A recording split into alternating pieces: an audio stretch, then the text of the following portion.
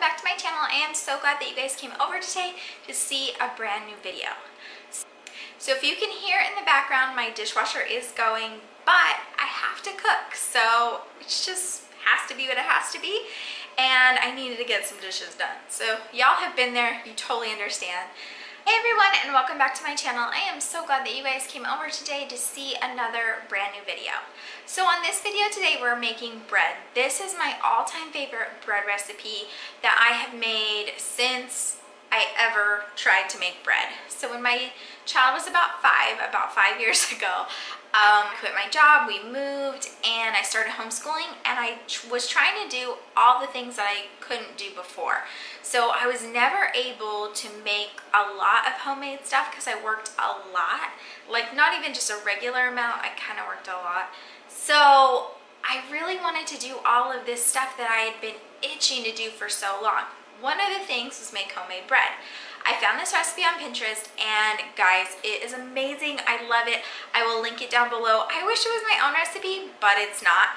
I have made it so many times for so many potlucks, for so many things, and I'm gonna make some today because I am taking a French toast casserole to Sunday school tomorrow and I wanted to make some homemade bread to put in it. If you're looking for an easy bread recipe, if you've never made bread before, this is the one for you. It's super easy. There's not a lot of kneading or anything like that. Um, it's a little bit time consuming because you have to wait for the bread to rise. But other than that, that's about it. So let's make some bread.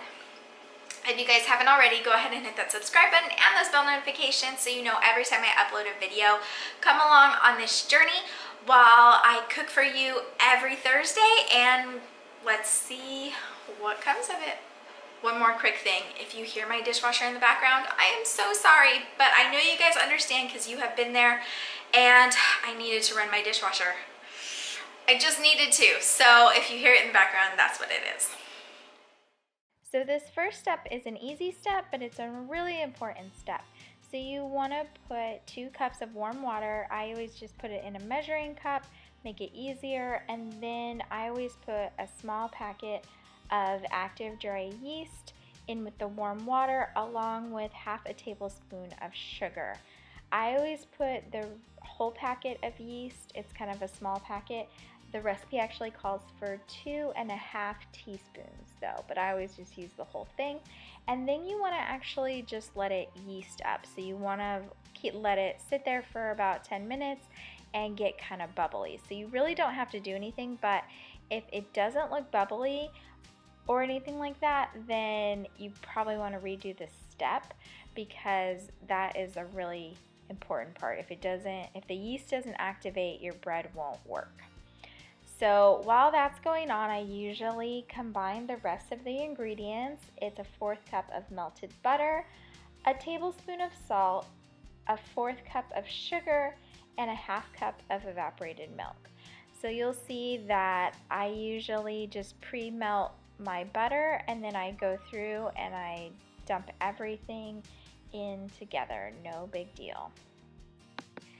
Now I do this in my KitchenAid mixer and that is a lifesaver for me. I'm not exactly sure if you can do it uh, differently if you have a different kind of mixer, but I would just look at the recipe that I linked below and I always put my bread hook on. That is the key to this, is the bread hook basically does all the work for me. So even just this little bit of mixing, um, I just put the bread hook on, let it mix in. It really just wants the sugar to dissolve. And then uh, after about 10 minutes and my yeast looks bubbly and good, I put the yeast in there. So that's what I am doing actually right now. Then I just mix everything to combine for just a minute, nothing crazy, and then I'm gonna add my flour. In the recipe, it says to add five to seven cups of flour. Um, I always use just white flour, but I know that's awful for you. I really haven't tried any other flour, but I could imagine that you could use any um, flour you wanted. So I always add in about three cups and then I start mixing it because if you add too much flour in, it's really hard for it to mix. So after about three cups, then I add a cup at a time until I get to about seven cups. I have tried to add less flour thinking that I could like modify the recipe somehow, but it really doesn't work out. I always just end up adding the extra flour. So I just kind of add it a cup at a time until I get to that seventh cup. And what you're really trying to do and what it says in the recipe is that you really want um, the dough to no longer be sticky on the sides.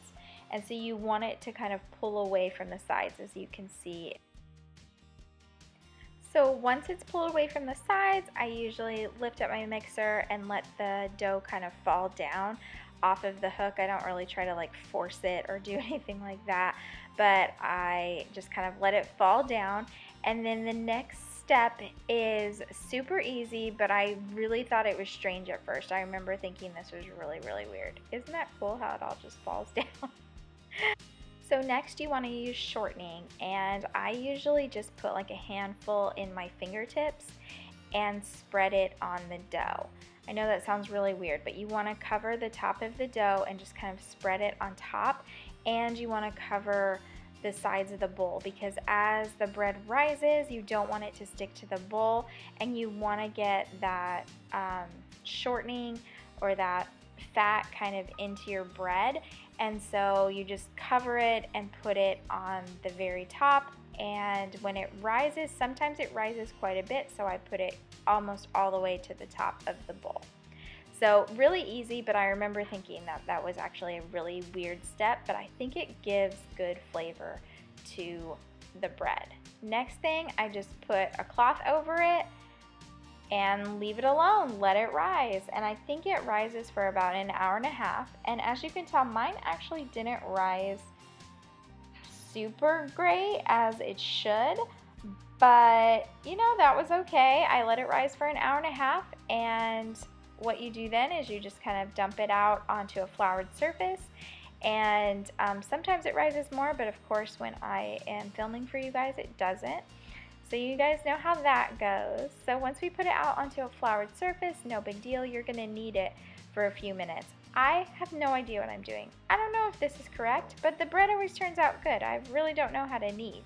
In the directions it says to knead the dough until it's soft um, you can tell that the top of the dough gets a little bit to like a crust to it, almost like dried out. And once you start kneading it, um, it the dough kind of feels really buttery. And so you basically just want to knead it a little bit, about two to three minutes until the dough feels soft.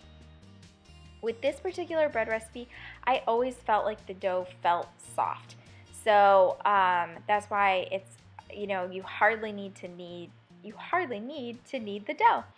So then all you do is you cut it in half and you're gonna make two loaves. I always just knead it around um, in its own separate loaf and I try to make it into like a little bit of a rectangle. I didn't do the greatest of job on this, uh, but it was getting late and I was getting tired.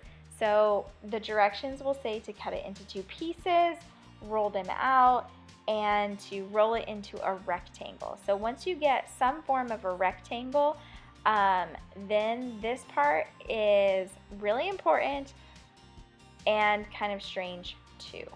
But you want to roll it up kind of like a burrito, I guess you could say. Roll it up like a cinnamon roll, but you want to roll it up really tight, especially at first. Get that really, really tight.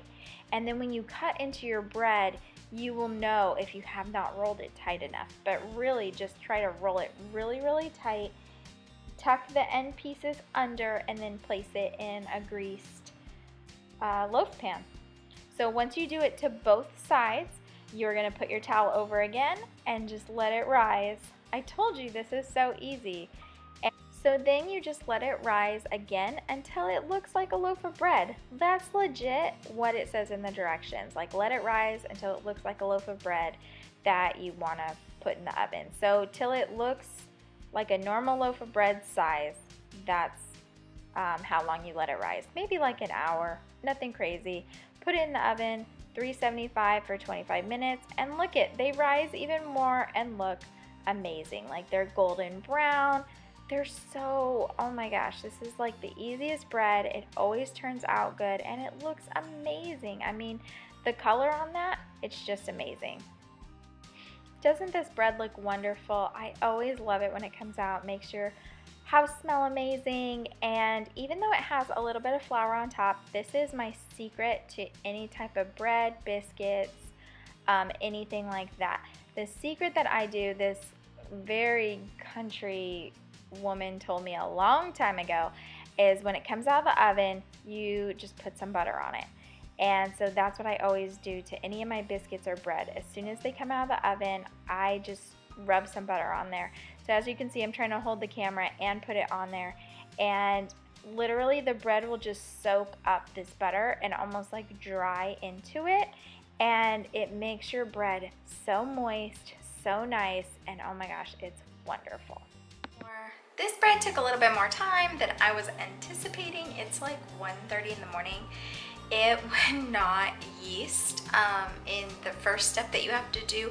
I did a couple different yeasts because it wasn't working and the tip I can give you for that is when you put the yeast in the warm water with the sugar um, you just want to leave it until it like bubbles and looks good so mine was not working very well but if you mess up that step you mess up the bread so that's why it took me so long, but I got an amazing result. I love this bread. It smells amazing. Everybody always loves it and thinks that I did so much work when really um, I barely even had to knead it. And yeah, mostly all the work the bread did itself. It just rose and rose and rose. Hope you guys enjoyed this new recipe video and stay tuned uh, for more good recipes every Thursday. Bye for now.